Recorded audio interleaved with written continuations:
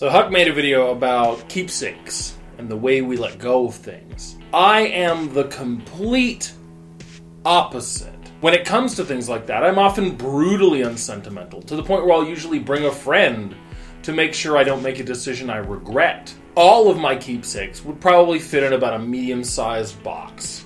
That includes photo albums, conference things, everything from my adult life, and I take pleasure in going through and getting rid of them. Once, I clung really hard to everything I had because I never knew if I would ever see it again. It made up all the parts of who I am. And then I grew up, and when I find those things, I take joy in remembering all of the things that they have given me, but I also enjoy closing that chapter and realizing that I don't need these things anymore to be who I am.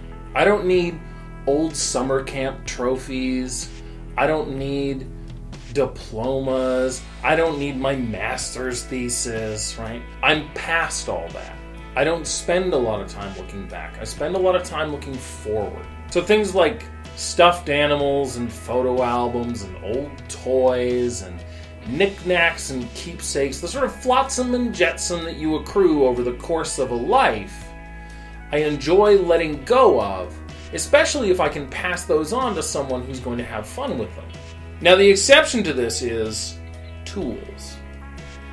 If I think I am going to use this thing in the future, well, goddamn, I'm never getting rid of it. I'm going to move with it nine times because I'm like, man, one day I'm going to find a use for this and it's going to be amazing. And sometimes, perhaps even often, it is amazing.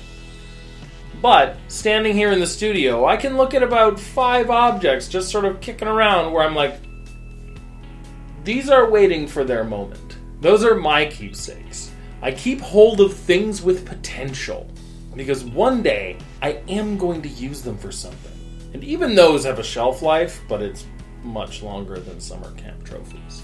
So we can add this to the many ways in which Huck and I are completely different people. But I do think that it's valuable to cherish the moments when you let go of your past and you stop being beholden to it. Or I do.